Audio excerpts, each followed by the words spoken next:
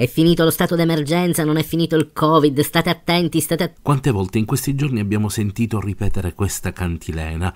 In realtà sono passate poco meno di 48 ore dalla fine dello stato d'emergenza per la pandemia in Italia, ricordiamo il 31 marzo, eppure qualcosa non sta andando per il verso giusto. Perché? Ciao, sono Giovanni Villino. Quello che stai ascoltando è Scalo a Grado, un podcast di approfondimento sui fatti e sulle visioni del nostro tempo.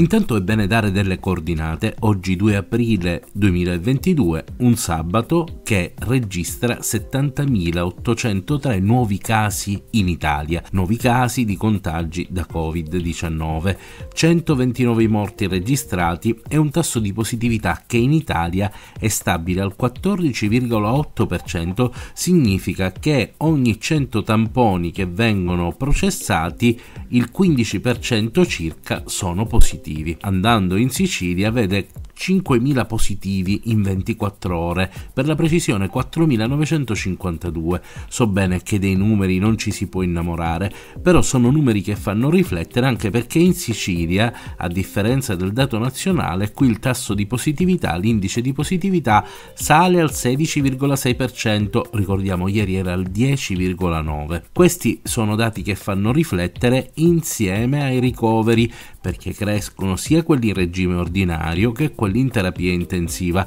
quindi qualcosa non sta funzionando. E per rimanere sempre alla Sicilia, a Palermo, nell'ospedale Covid di riferimento il cervello, nei giorni scorsi la stessa responsabile Tiziana Maniscalchi aveva evidenziato come tutti i posti fossero occupati. Adesso in tutto questo c'è l'euforia di lasciarsi alle spalle il Covid, ma il Covid non è mai andato via e soprattutto non segue le scelte politiche.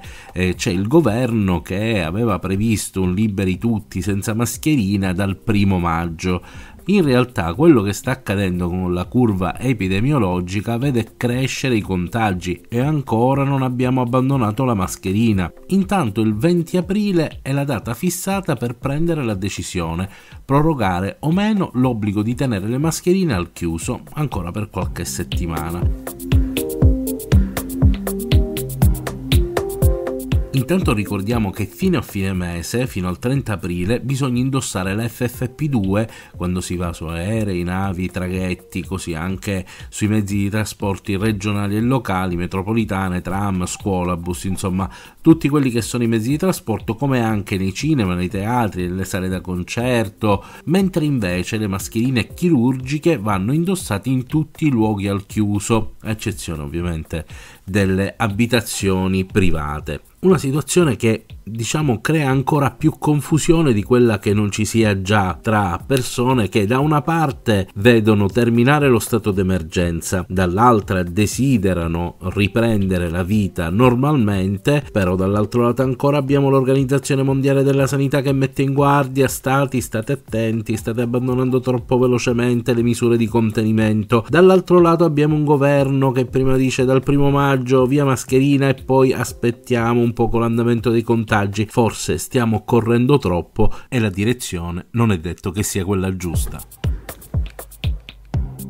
Hai appena ascoltato Scalo a Grado, io sono Giovanni Villino, puoi seguirmi su Spreaker, su Spotify e su tutte le piattaforme di condivisione audio e video. Ti aspetto.